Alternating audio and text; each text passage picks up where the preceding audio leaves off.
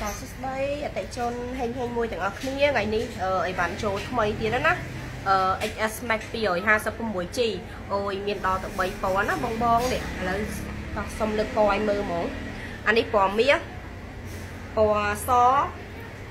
ហើយជាមួយនឹងពណ៌ខ្មៅណាអីវ៉ាន់សិតតាក្រេត A នេះ 256G ណាអីវ៉ាន់នេះទៅតែចូលស្តុកថ្មីតែម្ដងបងបងដែលគាត់មករកមួយថ្ងៃមុនដឹងណាអត់មានស្តុកសោះឥឡូវគឺចូលច្រើនមែនតើ ចង់សម្រាប់បងបងណាដែលគាត់ចង់បានអីវ៉ាន់ប្រភេទ grade A ណាសំណុំស៊ីនអេក្រង់ម៉ាស៊ីនស៊ីនអត់ដែរគាត់អត់ដែរជួសជុលអាចអញ្ជើញមកទិញបាននៅហាងហេងហេងមួយ phone shop នេះខ្ញុំបង្ហាញតួយមើលបន្តិចណាមើលបច្ចុំបានគឺថាអត់មានស្នាមកំពិតឆ្កូតស្បីតែបន្តិចណាអត់មានស្នាមទេ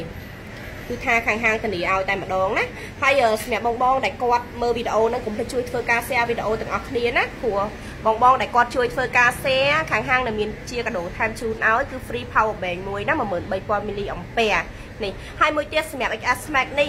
សម្រាប់បងបងដែលគាត់ស្រឡាញ់ប៉ុន្តែស្ទើរលុយក៏អាចធ្វើការបង់មលុបបានដូចគ្នាដែរកក់មុនត្រឹមតែ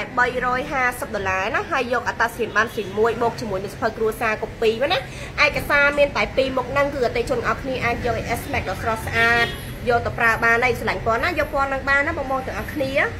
ចឹងអរគុណច្រើនសម្រាប់ការចូលមើលវីដេអូនេះកុំភ្លេចជួយធ្វើការ share ឲ្យច្រើនច្រើនមកណាមួយចាស់មួយថ្មីអីកុំភ្លេចជួយធ្វើការ share ផងអរគុណច្រើនហើយអូមួយទៀតកុំភ្លេចណាហេងហេងមួយគឺមានទីតាំងគឺនៅលើផ្លូវមនីវងខាងជើងអគារ42ជាន់ឆ្ងាយ130ម៉ែត្រណាមានលេខទូរស័ព្ទ010 79 49 04អាចតតងមកលេខនឹងបានណាអរគុណច្រើន